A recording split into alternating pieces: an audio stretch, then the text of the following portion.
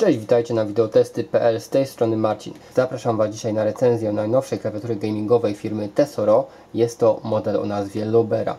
I w tym przypadku mamy do czynienia z Loberą z przełącznikami typu plunger. Przełączniki typu plunger, czyli przełączniki membranowe z gumowymi elementami, jednak symulujące naciśnięcie klawisza mechanicznego. Dokładnie jest to podobne do naciśnięcia klawiszy Cherry MX Black. Jeśli jesteście ciekawi wersji z przełącznikami typowo mechanicznymi, też mamy ją już w naszej redakcji, niedługo będą testy, natomiast zaczynamy od wersji na plungerach. Tą wersję możecie kupić w tej chwili od 319 zł. Wersja z przełącznikami mechanicznymi nie będzie się niczym różniła, poza właśnie tym, że będą te przełączniki. Będzie to wersja Supreme, ale to jest temat na osobny film. Na razie przyjrzyjmy się samej klawiaturze. Ma ona podświetlenie RGB, czyli klawiatura jest w pełni podświetlana. Możemy wybrać sobie dowolny kolor. Możemy też sobie te kolory przełączać wraz ze zmianą profili. Ja może troszeczkę przyciemnię, żeby to było lepiej widoczne. Zobaczcie.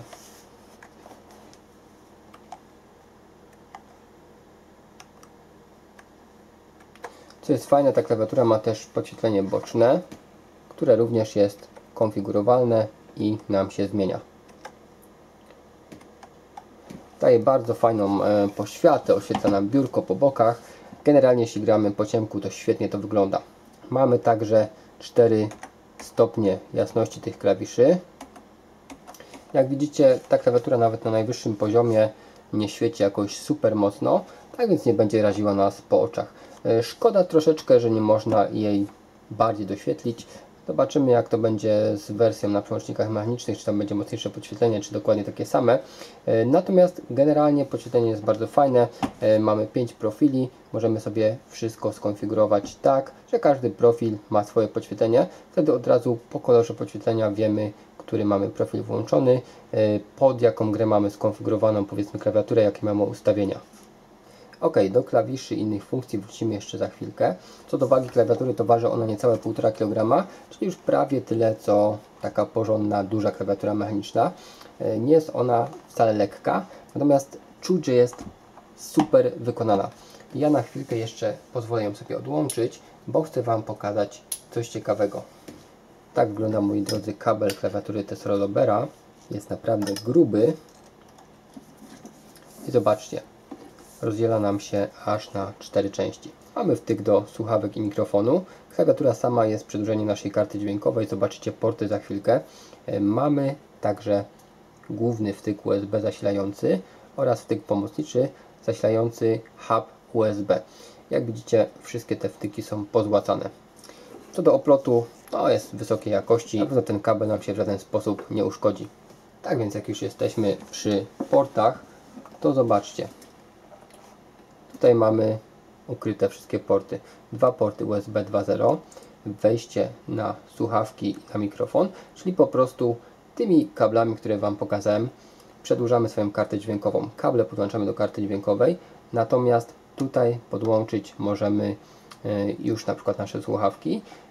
Zaoszczędza nam to czasu i kłopotu, ponieważ nie musimy dostać się do naszej obudowy, nie każdy mają zaraz pod ręką, tylko wystarczy podpiąć to do klawiatury. Bardzo wygodne rozwiązanie, przydające się na pewno. I tutaj zobaczcie, w środku mamy jeszcze miejsce na podłączenie zasilacza sieciowego. Co nam daje ten zasilacz? Daje nam po prostu to, że jeśli ładujemy na przykład jakieś urządzenie z portu USB, to wtedy mamy stabilne napięcie i wyższe napięcie. Dzięki temu urządzenie naładujemy szybko i bezpiecznie. Dodam tylko, że w komplecie nie dostajemy takiego zasilacza, ale jeśli mamy coś takiego w domu, możemy sobie użyć. Oczywiście po sprawdzeniu specyfikacji podanych przez producenta. Rzućmy jeszcze okiem na same materiały, ponieważ jest u Tesoro e, zawsze taki mocny element. Jakość wykonania według mnie jest rewelacyjna. Klawiatura już powiedziałem, że jest masywna, jest też świetnie wykonana. Ponieważ zobaczcie, Cała obudowa, pomimo że jest z plastiku, przypomina tutaj w tej całej głównej części szczotkowane aluminium i jest to naprawdę plastik świetnej jakości, najwyższej. Plastik jest twardy, jest odporny na brudzenie się, odporny na jakieś e, zarysowania, uszkodzenia i sam dół, czyli tą podkładkę pod nadgarstki mamy z plastiku, który znów przypomina e, tym razem stal, taką ryflowaną stal też jest to świetnie wykonane. Przy okazji zapewnia dobrą przyczepność nadgarską.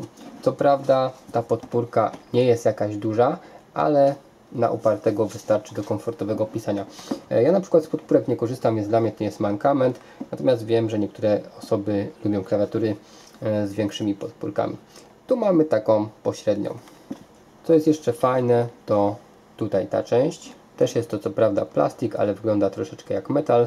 E, bardzo fajna farba, oczywiście kolor charakterystyczny dla Tesoro i logo producenta. Generalnie jak widzicie ta klawiatura jest jakby plastikową wersją klawiatury Tesoro Colada, tej w aluminiowej obudowie, którą testowałem też dla Was jakiś czas temu. Tamta klawiatura co prawda była sporo droższa, to mamy taką wersję w bardziej przystępnej cenie. Pokażę Wam od razu jaki ta klawiatura ma profil. Nie jest zbyt wysoka, klawisze są fajnie osadzone.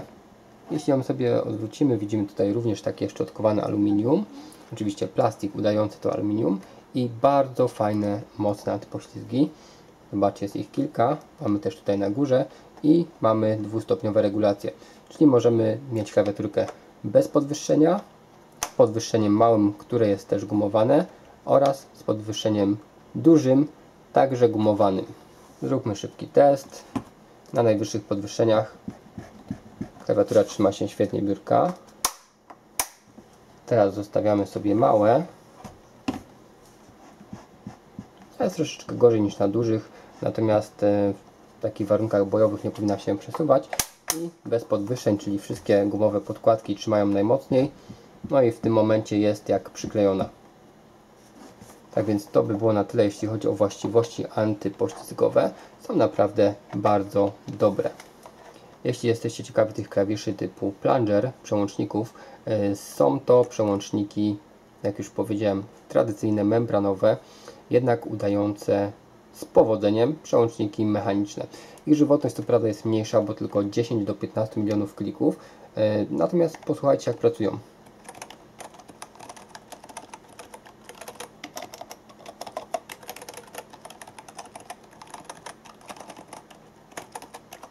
Faktycznie uczucie jest bardzo podobne do wciskania przełączników Cherry MX Black. Mimo wszystko te przełączniki Plunger są od nich cichsze, a przy naciśnięciu stawiają dość podobny opór. Tak więc możemy tutaj mieć bardzo podobne wrażenie w niższej cenie.